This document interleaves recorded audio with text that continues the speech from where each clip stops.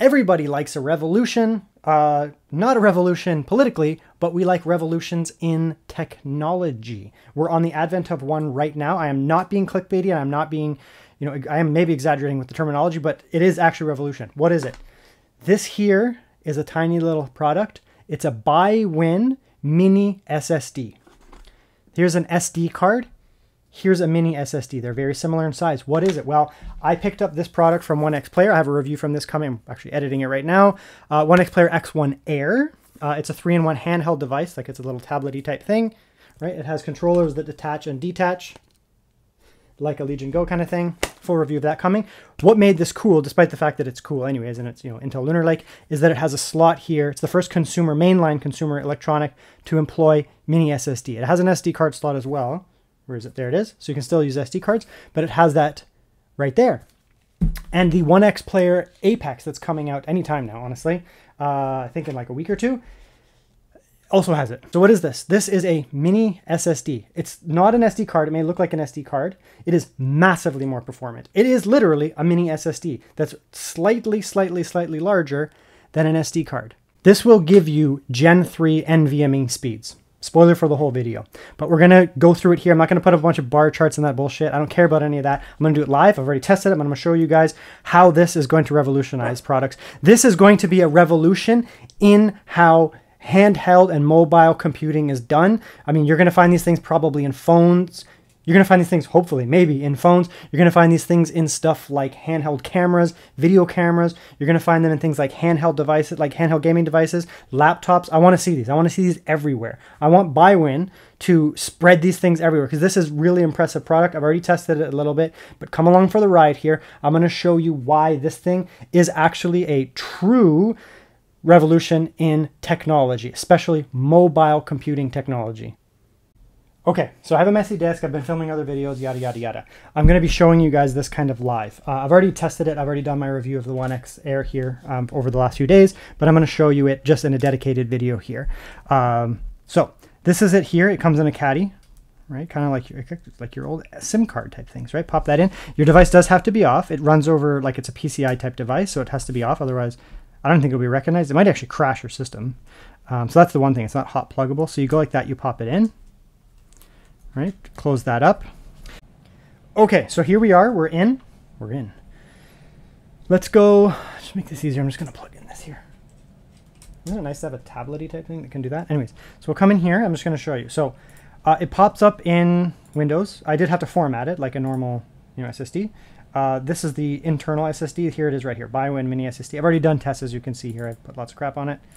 Games and stuff but let's do it again. Let's do it again right now. So uh, it will pop up, like I said, it will pop up in the BIOS like a PCI. So you're going to be able to boot right off of this thing because it shows up essentially as an NVMe. So BIOS will just basically recognize it like that. So you can have no problems, you know, booting off of this, booting Windows, booting Linux or whatever it is off of this, no problems because it's recognized just as a standard drive, right? If you come in here, when you first put it in, it'll pop up. You won't get anything. You come in here uh, and then you go into your, you know, disk partition and you format it.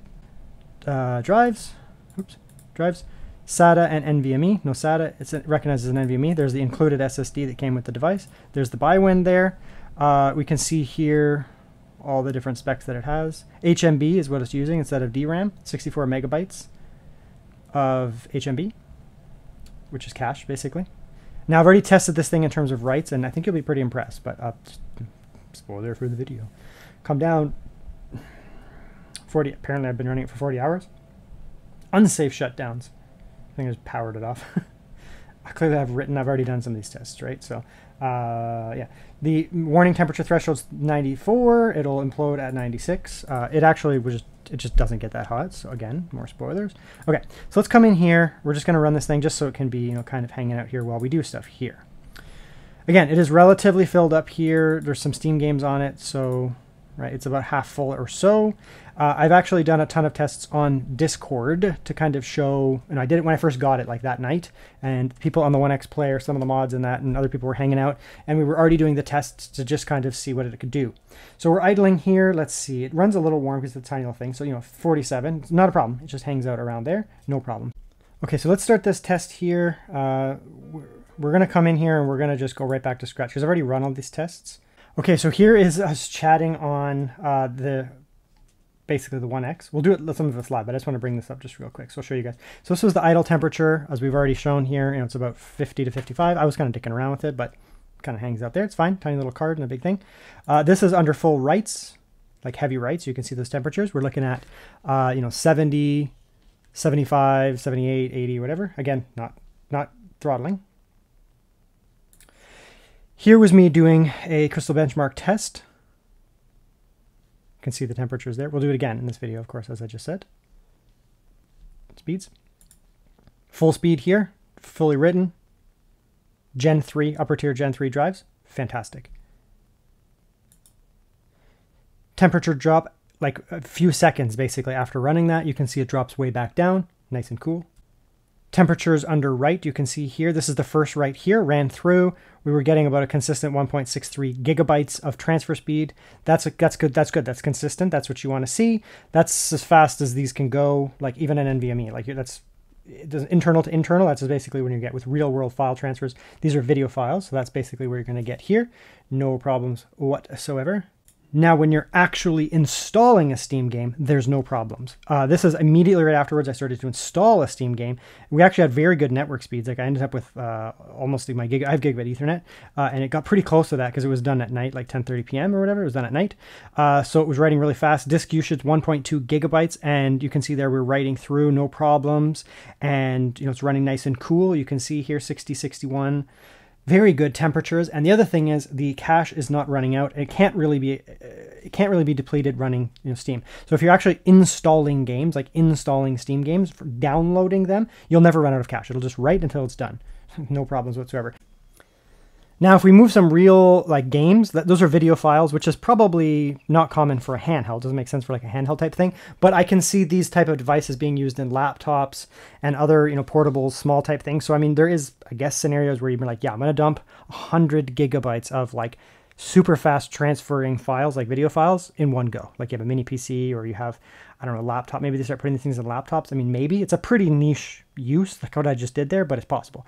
Now, if we move something like Marvel Spider-Man here, um, it's going to be fast, but it'll never maintain that speed because they're small files. Like it's going to, the whole time it's going to be doing weird, weird, weird. It might even drop down to you know, like tiny little speeds here because some of the files will be smaller. Like if you come into, you know, a game like this, there'll be some big files and some small, small files. This is a hundred gigabyte, uh, hundred gigabyte video game here. Right?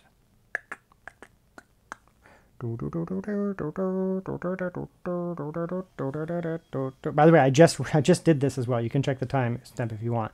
Uh, normally, it takes time for like cache, DRAM cache, or HMB to like re regenerate itself. I didn't really give it time. I gave it like 30 seconds because I just ended up responding to a text message. Uh, is it going to run out? Right now we're on this again. This you saw that that was about 100 gigabytes. Is that what it was? 100 gigabytes approximately. 107 gigabyte game. I don't think it's going to finish because in theory, when I did the video files, it ran out at about 80 or 90 gigabytes. So in theory, I'm going to see to drop out here, but maybe not.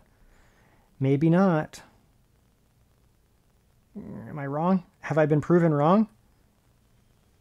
Oh, okay, maybe I've been proven wrong. So there you go. That's a hundred. There it is. Okay.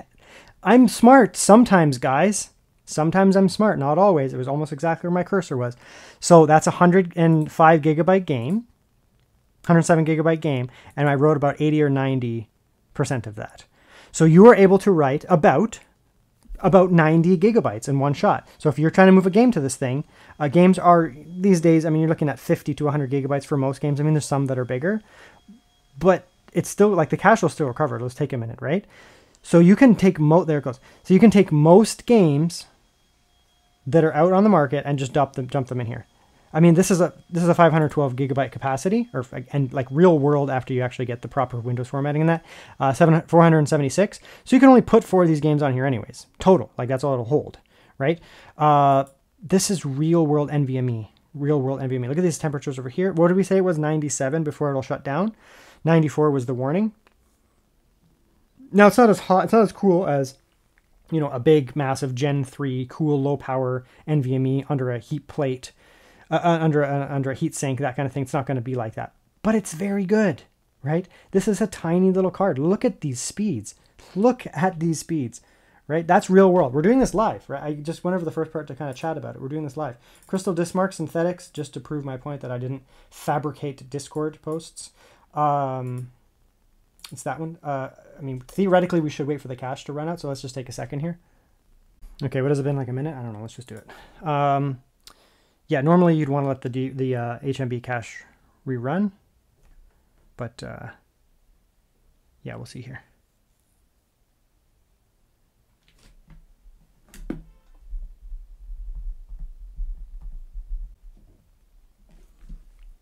Okay, so that's the reads, no problems, yada, yada, yada.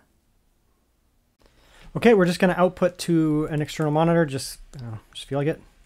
Just a little easier to see. I'm just going to play Spider-Man for a second here. You guys don't have to watch.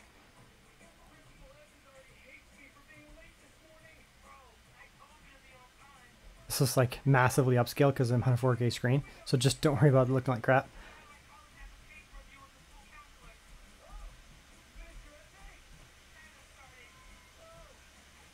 Uh, iGPU plus Spider-Man at 4K, not good.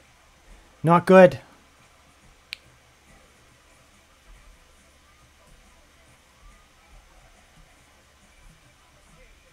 Uh, the reason I'm playing Spider-Man for one thing is uh, loading, right? We're loading in new sect potentially. We're loading in new sectors, new areas.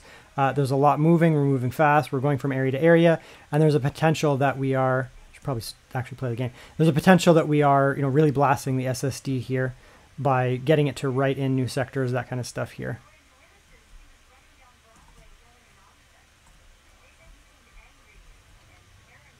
Okay. Let's go like that. We're going to kick out here. And let's check the temperatures here. Biwin, look at that, 64, 64, 61 under load. It was idling at about 44, 43, and that's consistent when, when I was installing Steam games too. It just doesn't get hot. The only time it ever gets like warm warm is when you're doing massive, oops, when you're doing massive file transfers. And I mean, that's not normal. I mean, it will eventually be a scenario that you might be getting into where you're doing, you know, massive file transfers and that kind of stuff on, you know, a device like this, laptop, that kind of thing. But I mean, most of the time, this is going to be a gaming handheld. It's going to be used as a little hard drive inside, and it's never going to have that issue. So that's the video here. We're at a paradigm shift. Uh, this is what I'm going to term. I'm going to use a paradigm shift. Why do I say that? Because we have something new. I mean, we've been going years and years and years. There hasn't been anything new, really new in you know technology in general for a while. There's just been like iterative stuff. I mean, in gaming, there was like you know upscaling. That was probably the biggest thing. That's been out for quite some time now. Before that, I mean, what did we get, right? Like frame generation and upscaling. That's really it. We haven't seen much of that. In terms of like consumer electronics, honestly, not much. Like, yeah, slightly better iGPUs and like slightly better this and slightly better that. It's just an iterative process. This is the first actual paradigm shift where we have something new. We're going from you know, SD cards that are not fast at all. They're not fast at all. They're terrible in most regards, but they're good for like, you know, cameras, very basic stuff. They get the job done, but they've been around forever and it's old technology. Yeah, we have micro SD card express, like the Nintendo Switch there, and it's faster. It's still the same type of technology, and yeah, you get 500 megabytes a second. Woo. I mean, it's okay. It's okay. Uh, that's kind of the base for what you would want to do anything with nowadays, like SATA-based speeds, 500 megabytes a second. That's the absolute base you'd want to go with. Uh, otherwise, you know, you're going to start to notice things even like operating systems slow down, games for sure. This is the first paradigm shift where we have something very, very interesting. We have something that is approximately the size of an SD card, like you know, a little bigger, but approximately the size of an SD card there but massively, massively, massively more performant. And I'm going to tell you this thing massively, again, I'm using massively, exceeded my expectations. My expectations were to go into this thing and kind of dunk on it and be like, it runs too hot, it throttles like crazy, the cache runs out, it's not a viable solution, it's not good, but clearly Biwin has something that they're confident with.